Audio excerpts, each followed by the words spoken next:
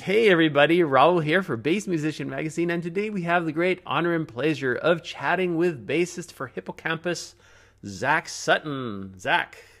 Hi, thanks for having me. Yay! Starting from the beginning, as we always do, we like to get to know a little bit about your past. How did you get started in music and on bass? My family's not a very musical family. I was visiting my dad's like cousin's boyfriend when I was like five, and he had a guitar. So I think that sort of kicked off the inspiration. I ended up taking piano lessons after that, not guitar lessons. And then shortly after that, my brother sort of recommended bass to me because he was sort of the guitar kid and he thought bass would be um, more suitable because I don't know he needed someone to play bass for him. Of course. And that's pretty much it. I grew up overseas, so this happened in Finland, and then it was about we were about 11 when we moved back, and so sort of adjusting to the American, I don't know. Schooling system, you know, it's either sports or something. So we Sure. sort of avoided the sports, having come from something different without football and stuff, and just stuck to music. And that's kind of just been how we've kept going. Got you. And so, did you pursue further formal studies, or are you self-taught? Um, yeah, I mean, took piano lessons, bass lessons when I was younger, and then joined the after school program called School of Rock when I was in high school. And that was sort of, you know, a study in itself, but it was just private lessons, and then you sort of learn these songs. When I got to high school, I went to a pre conservatory high school, so it was just jazz and classical training. So I studied jazz for a long time.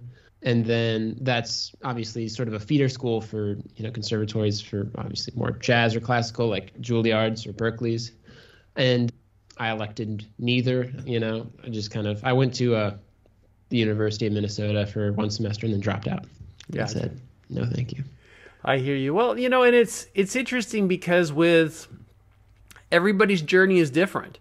And there are some people that can see value in whatever program. If you were thinking of pursuing further jazz, you know, you you might go, okay, I'm going to network here. I'll get to know these other cats. There's other values that are built in just in addition to learning the musical portion of it. But a, a lot of groups and a lot of musicians, it's kind of like I, I need to get out there now and I need to be, be playing. And I don't see that a formal program is going to give me any other additional value, you know, other than the networking. So, I mean, there's no no wrong way to go. On, on to Hippo Campus. Tell us about how you, you came into the group and you know how that all happened. Jake and I um, met at School of Rock when we were about 12 or 13. We started a cover band when we were that age, playing in like dive bars around Minnesota, just doing like, you know, hair metal. And then we both went to the same conservatory high school and started a band there where we met other guys. That's where we met our other two bandmates, Nathan and Whistler. And just as they were about to graduate high school, they are all a year older than me. Uh, we started Hippo Campus and you know, didn't really have any aspirations for it. It was just another fun project for us to mess around with. And it was just, uh, I don't know, it had this feeling where it's like, wow, this is like actually sort of worthwhile. I want to invest a lot of time into this. I want to really see what happens. They all like deferred college. They waited for me to graduate high school. And then we were lucky enough to just play just one random show where we met a, a lighting guy and he said, Hey, I know a management team. And we were like, Please don't talk to us again. You're very scary looking. And he had like three strands of hair and it was like terrible. So we like skirted him for six months, but he was persistent and we met up with him eventually. He was like, I've got this practice space here. Let me introduce you to this management team. And they were actually a real management team. They were nice. They were Yeah. very professional. And um, they, you know, helped us with recordings and then eventually get a booking agent and um, tours. So then it's all sort of been taken from there. Got you. Well, and the band's been going since around 2013, so you guys are uh, have been at it for a while. And I guess as so many musical groups are, as I was looking at your videos and things, it seemed like there was a, a, a lot kind of going on two years ago, and then until fairly recently, kind of a, a little blurb in time. Which again, with the pandemic, so many groups were like, you know, we can't tour, we can't. what's the point? Why are we putting anything out there? And especially groups that released records, they you mm-hmm. know they kind of landed just in the void because there wasn't the ability to do what people usually did. But Bad Dream Baby just dropped in in June of this mm-hmm. year. And I, am guessing that is it kind of, I know there's another one coming, so it seems like this is kind of the starting to pick up momentum again. Right. The machine is churning back to life. Like you said, there was that two year sort of blurb of time, and 2019 was like a big touring year for us, and then we kind of stopped just before COVID hit, and we were lucky because we weren't one of the bands that had to like cancel a whole tour and miss out on like, hey, here's this record, we're so excited to bring it, To, and then nothing. You know, mm-hmm. that's sort of almost wasted effort. Not that people didn't enjoy it, but they couldn't reap the benefits. So we were lucky we didn't miss a huge thing like that. So we took the past uh, year or two off to do that writing and recording.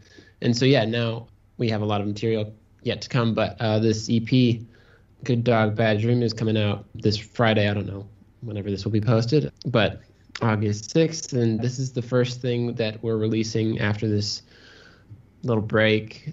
And yeah, there's a song called Sex Tape, so we're excited about that. there you go. There yeah. you go.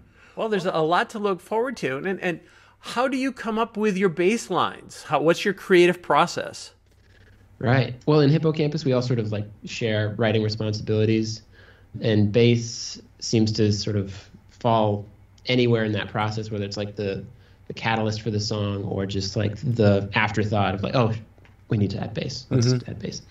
But you know, I'm typically trying.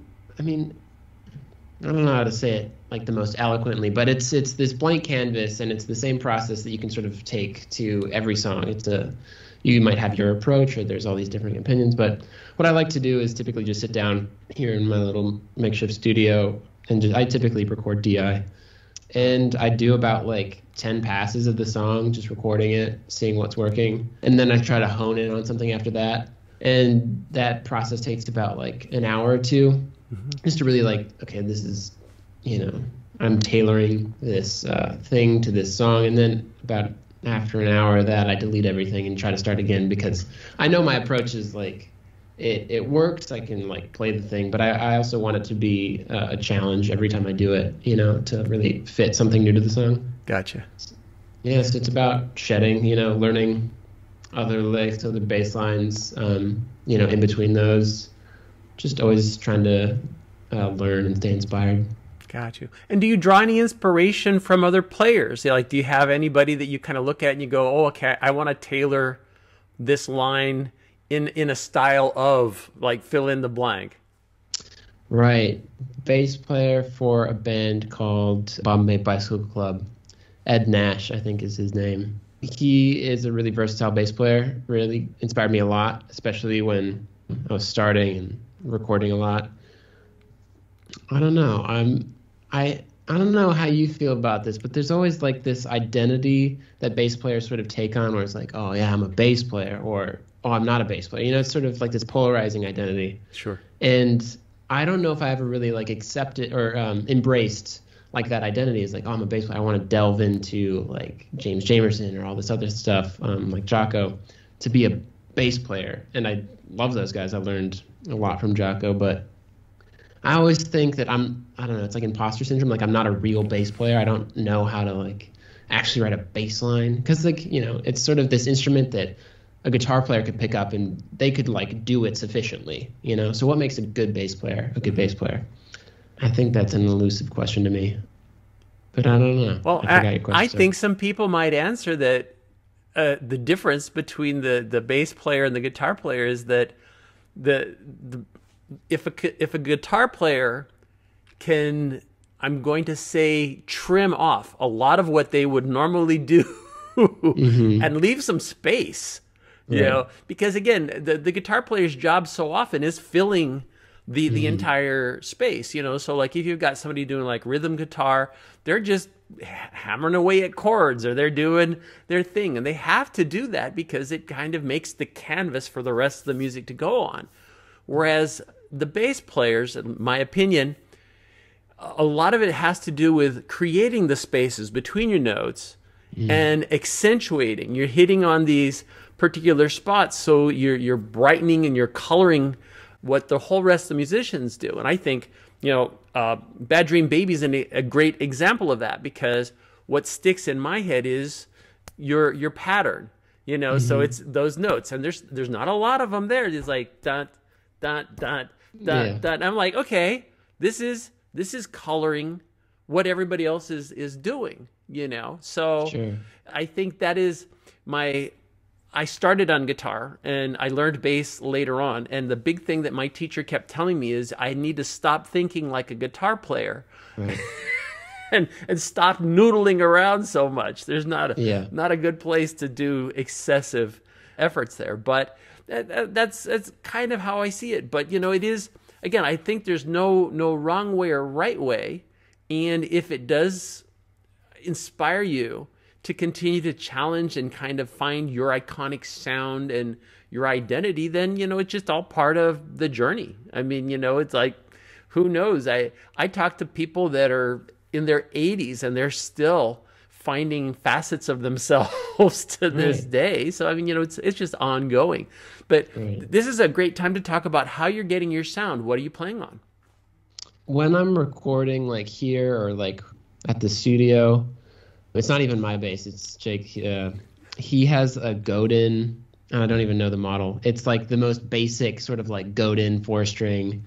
It's got a pickup selector on it, and it just sounds incredible. I don't know what they did to that bass, but it's like the perfect recording bass. Everyone who touches it is like, "What the hell?" Like this is. I've never even thought twice about Godin before, and now this is like my favorite bass. I think it's perfect for studio, not necessarily for live. When we're on tour, I play Fender 70s P bass, 72 okay. I think, and it sounds perfect, but it's just heavy as hell, and it sucks to like play two hours with like 20 pounds on your back. When I don't use that, I have a Nash jazz bass, okay. uh, four string, and those are sort of my like three favorite basses right now. When I'm on a tour, I play through an Ampeg SVT Classic head, and typically an 8x10. Mm-hmm. And then for pedals, nothing too fancy. I have a reverb, just a Boss RV5 on my pedal board, Julia Chorus from Walrus Audio. I have a drive pedal called the 1981. It was made by the guitar player for Relient K, Matt. Forget his last name.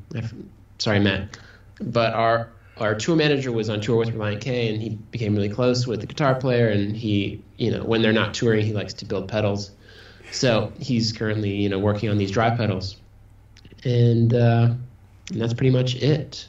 Do you have a preference in strings? Um, I told you not to ask me that question. um, I, it's the D'Addario, uh, D'Addario uh, nickel. I think like the basic one. I I used to play DRs, but I think that was bad. I don't know. Those were like really bright and sort of mm-hmm. heavy, like a metal genre sort of thing. Sure. Uh-huh. Well, and you know, it, it also depends. A lot of musicians, depending whether they need to change their strings off and if they're looking for a real bright sound, if they have like an acid physiology. One guy I talked to uh, essentially told me that any bass that he plays, he kills the strings within uh, 10 minutes. Wow. that they just go bloof and, and they're yeah. kind of gone. So he's had to apply. There's a, a, product that you can put on your hands before he plays to help neutralize the acidity in his skin, so he doesn't kill his strings quite so fast. And you know, it was like, whoa! A, it, it has a particular special requirement for him but it sounds like what you've got is, is is working you know well and it's certainly giving you your sound one area that i know a lot of musicians don't think about is instrument cables do you have any particular preferences in instrument cables I was gonna say that at the end of my little uh, like gear spot thing that I don't have. Like I don't know if that is a question that you were gonna ask or if that's something people talk about, but I don't know the first thing about instrument cables. I think it's what do I have? This is a guitar. Uh, this is Mogami. Mogami. That's a Mogami uh, patch cable. Gotcha. I, yeah, Planet Waves. I don't. I don't. Is there? Do you have a preference? Is there a best one? Well, what what I'll say is there's a lot of really good ones out there. I think it really hinges on what you are trying to do. You can get some really high end. I know, uh, like Asterope makes a very high end cable that they've got some amazing technology. Uh, If you're using, especially even long cables, you don't lose sound on long cables, so they make a really good cable. Tsunami Cables makes an amazing cable as well. They do something really cool. They kind of customize where the, the it's the body that holds the plug. They do some really cool work with those. And a lot of the touring musicians that I've talked to really love those cables because they hold they take a beating. And hmm. so you can throw them in a gear bag night after night after night and they're going to come out you can count on them. They won't fail you. I know a lot of people before they could get exposed to those, Mogami, Monster, Planet Waves, all of them make pretty reasonable cables. I don't know that a lot of them hold up well under the rigors of tour.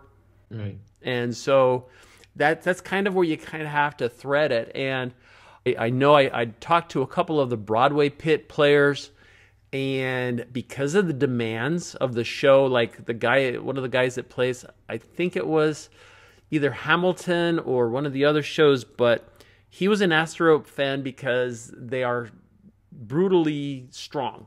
And, mm-hmm. you know, night after night after night, he didn't have to worry about his cable fritzing out. And as, as I know, when I started playing, I basically bought what I could afford. So I had a, a three foot curly Q cable that was Yeah. terrible. I couldn't even get very far away from my amp. So I was always situated really close and I would stretch it as far as it would go. But, you know, it was not much to write home about. But, you know, you pay per foot and three feet was about what I could afford at, the, Yeah. at that time.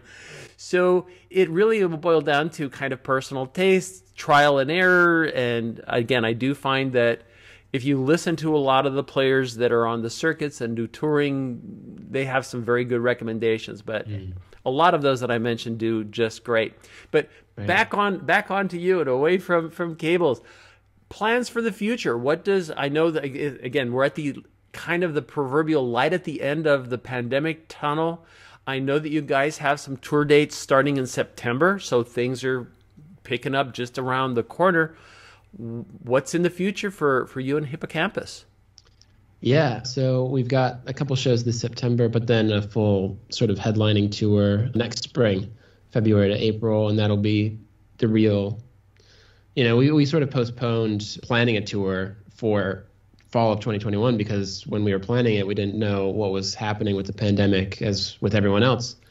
So when the vaccine started started hitting all these bands, we're like, okay, yeah, fall seems to make sense, and we waited for spring and now that all this news of like the delta variant and all these scary things we're like oh my god did we wait too long? Are we going to have to cancel that tour too? And it's looking very unlikely that we'll have to cancel that but uh, yeah a tour coming up. We've got this ep coming out and in minneapolis there's just a lot of bands that we love that we like to rep um, we've gotten into production so we have like a little studio where uh, Jake and our producer Caleb Hinz they work out of there and like to produce a lot of bands. So um, just you know, hopefully something sort of community based here for people to look forward to, whether it's just a, a touring sort of small festival sort of thing, if you can imagine that, where it's Sure. four or five bands on a bill with two nights or something, and then just supporting local artists here, stuff like that. So yeah, lots of good stuff to look forward to. Nice. Well, and I've heard that Minneapolis has, you know,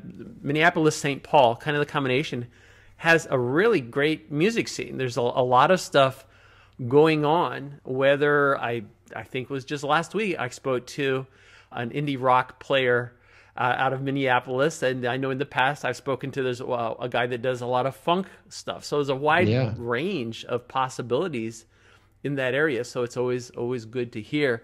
And if people want to stay on top of what you guys are doing, is the best place to look hippocampus.band?